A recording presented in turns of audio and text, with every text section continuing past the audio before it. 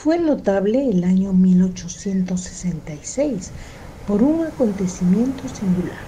Buques de diversas nacionalidades se habían encontrado en el mar con una cosa enorme, un objeto largo, fusiforme. Ante tal rumor, los Estados Unidos fueron los primeros en decidirse a organizar una expedición destinada a perseguir al narval. Yo, Pedro Aronax, profesor de historia del Museo de París, fui invitado al Abraham Lincoln, que se encontraba a cargo del comandante Farragut. Estaba acoderado en el muelle. Nos hicimos a la mar y durante algún tiempo no ocurrió incidente alguno.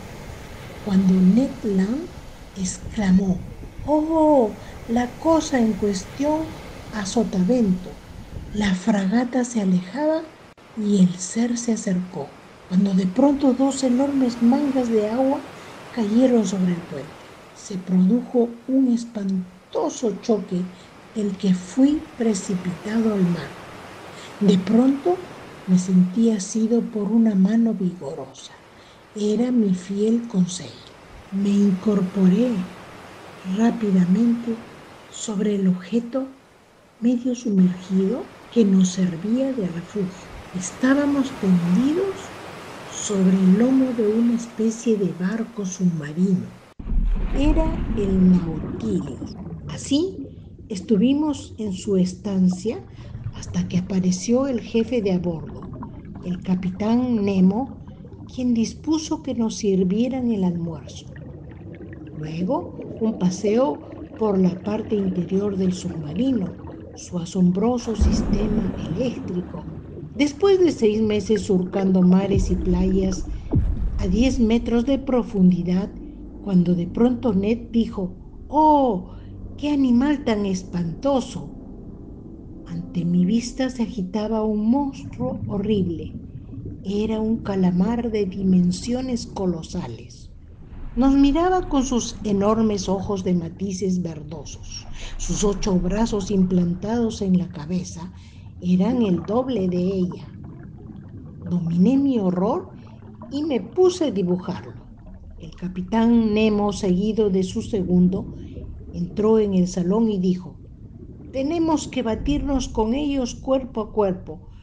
El capitán se arrojó sobre el pulpo y de un solo hachazo le cortó otro brazo.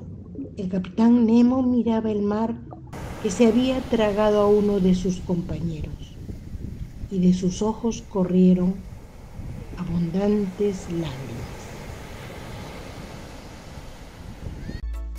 Qué apasionante mundo el de Julio Verne.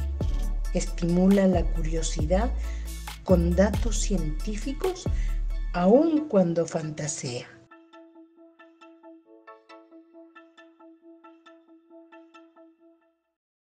Y termina aquí este cuento.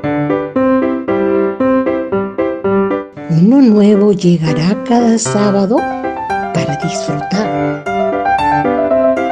Dime si te gustó. ¿Qué quieres que agreguemos? Suscríbete a nuestro canal, comparte y no te olvides de tocar la campanita para que vengan otros más.